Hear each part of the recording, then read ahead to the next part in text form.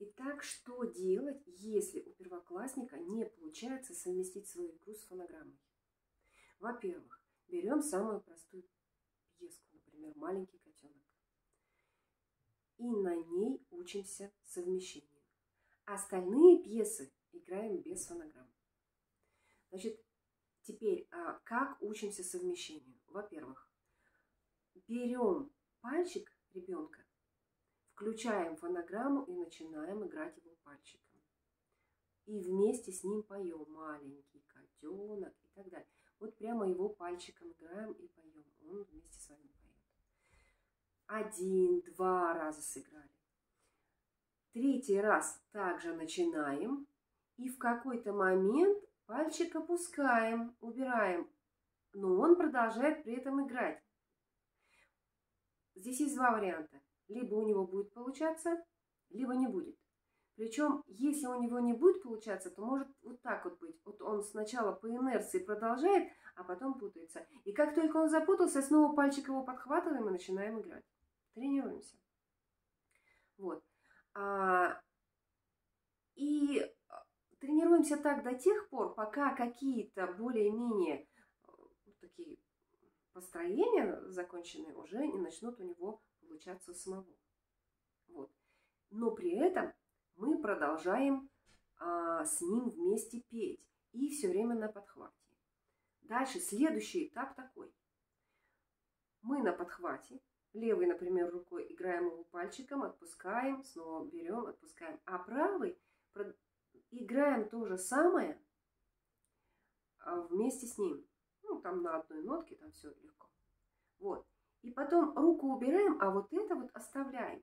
Потом уже следующим этапом а, просим его просто играть вместе с нами. Мы играем и поем вместе. И только тогда, когда он сбился, мы уже подхватываем его ручку и снова а, выправляем и снова убираем. То есть вот этот процент, когда мы а, играем его рукой, он все меньше и меньше у нас. Все сокращается и сокращается.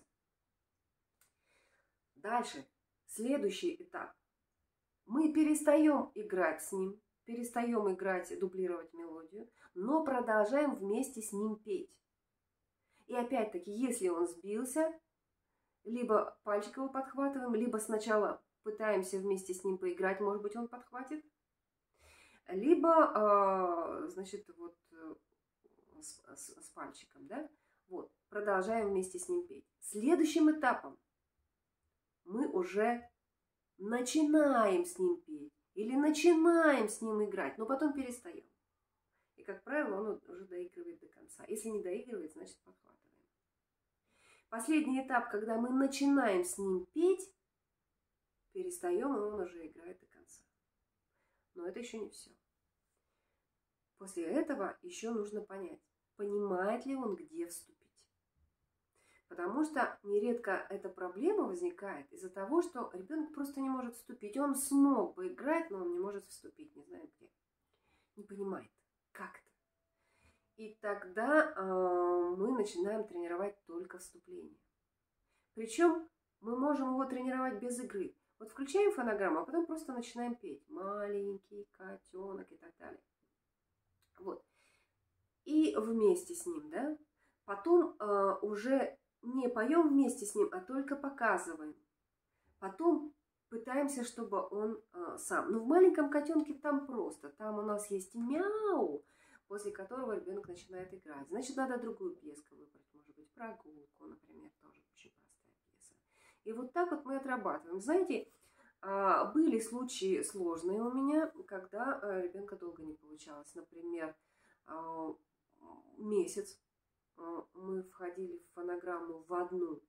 При этом остальные пьесы мы играли без фонограммы. Как только одна начинает получаться, тут же э, берем вторую с фонограммы, тоже очень простую, например, прогулку. Вторая, как правило, уже проще, третья еще проще, а дальше проблема снимается.